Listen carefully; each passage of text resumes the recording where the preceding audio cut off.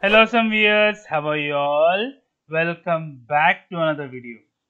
Guys, in this video we are going to discuss how to resolve this error.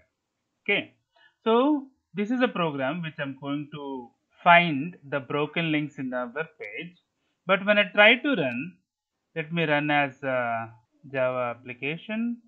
You can see I'll get the results, but it will constantly fail. So number of links are 353, but you can see here. So we'll we'll get this error. Okay, org.openqa selenium remote http WebSocket listener on error. So it is connection reset basically. So how to resolve this issue? So whenever you are launching a browser and entering the URL, here, here I have entered Flipkart.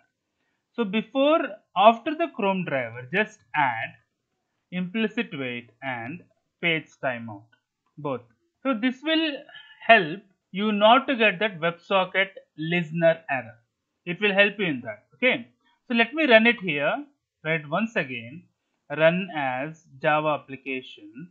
Now you see the Flipkart will be launched okay you can see this i'll expand it here so the links are 353 now okay it is trying to find the links entire links in the flipkart so it will take time we'll get the list in an array. Now so the browser is closed. And we didn't get that error. Okay? So these are all the links which i wanted. So just add implicit and paste them. That's it.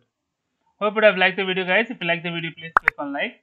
If you're a new viewer, please click on subscribe. Till then, guys, take care. Have a great day. Bye bye.